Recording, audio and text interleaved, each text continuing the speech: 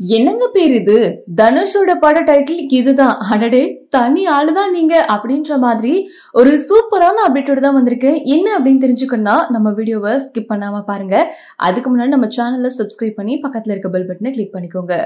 பொதுவாவே சிலருக்கு சில விஷயங்கள் அழகா வரும். அது போலதான் இயக்குனர் குடும்பத்துல இருந்து வந்த தனுஷுக்கு இயக்கம் அப்படிங்கிறது அசால்ட்டா மாறி இருக்குது இதனால அவர் தொடர்ந்து தன்னோட இயக்கத்திலயும் ஆர்வம் காட்டிட்டு இருக்காரு.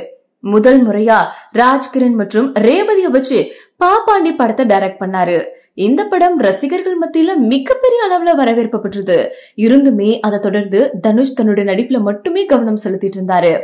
பல ஆண்டுகள் கழிச்சு கடந்த வருஷத்துலதான் தொடர்ச்சியா ரெண்டு படங்களை அடுத்தடுத்து இயக்கினாரு.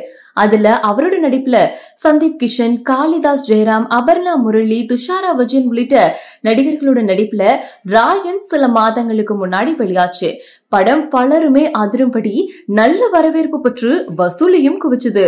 இப்போ இள நடிகர்களை வச்சு நிலவுக்கு என்மேல் என்னடி கோபம் அப்படின்ற படத்தை உருவாக்கி இருக்காரு குபேரன் உள்ளிட்ட திரைப்படங்கள்லயுமே நடிச்சிட்டு இருக்காரு இந்த நிலையில தனுஷோட இயக்கத்துல நான்காவது படம் உருவாகிடுச்சு.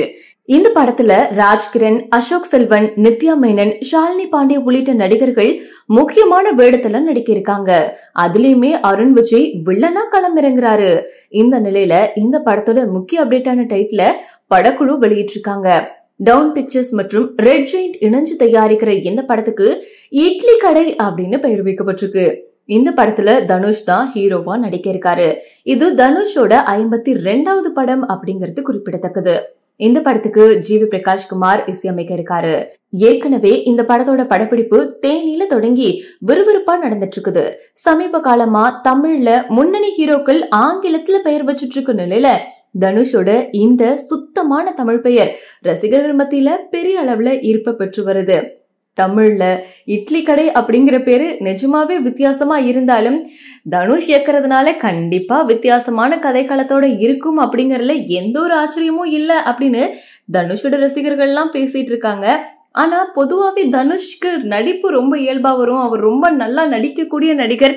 தொடர்ந்து படத்தை இயக்கிறதுலே ஆர்வம் செலுத்திடுவாரோ அப்படின்ற மாதிரியும் இருக்கு.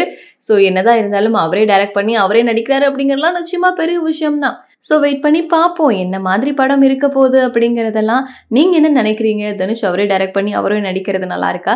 இல்ல வேற டேரக்டரோட இவர் சேர்ந்து நடிக்கிறது தான் நல்லா இருக்குன்னு நினைக்கிறீங்களா அப்படிங்கறத கமெண்ட்ல சொல்லுங்க.